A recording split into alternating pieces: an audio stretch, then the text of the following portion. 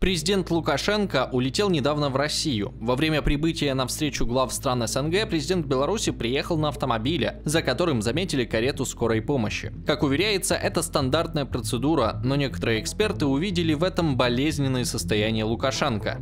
Кстати, это заняло у него много времени и труда. Тяжелее всех он поднялся по ступеням. Их было 8 или 10. Долго и упорно. Можно предположить, что аргумент о том, что у него проблемы с суставами, не безоснователен. Лукашенко уже два года путешествует с усиленной бригадой врачей. На то есть причины, все написано на его лице. Говорят, что не только с коленом, но и с сердцем плохо. Поэтому рабочее время один день через день. Президент быстро устает. Перед началом личных переговоров в Санкт-Петербурге президент России Владимир Путин лично встретил и забрал своего белорусского коллегу. Также была опубликована фотография, на которой Путин приветствует Лукашенко, когда тот выходит из Мерседеса. Встреча президентов в Константиновском дворце в Санкт-Петербурге уже подошла к концу. На это ушло три часа. Президент Беларуси и его российский коллега договорились о проведении совместных военных учений на территории Беларуси. Лукашенко поблагодарил Путина за его поддержку в тяжелый год санкций и коронавируса и пообещал, что Беларусь не останется в долгу перед россиянами,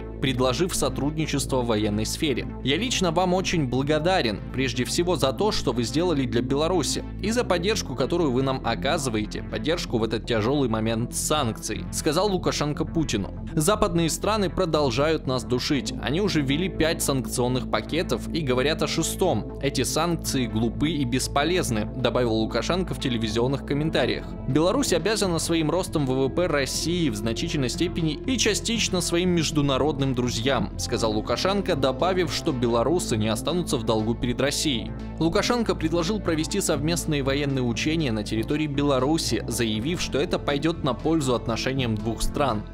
Как вы предложили, в начале года мы провели учения. Военные согласуют с датами. В марте, феврале, я не знаю, когда они решат их провести, отметил Путин. К слову, российские и белорусские лидеры подписали серию дорожных карт, направленных на углубление интеграции двух соседей в рамках многолетнего плана создания союзного государства. В документе в основное внимание уделяется экономическим и регуляторным вопросам, включая общую политику в области налогообложения, банковского дела, промышленности, сельского хозяйства и энергетики. Кроме того, лидеры двух стран одобрили совместную военную доктрину.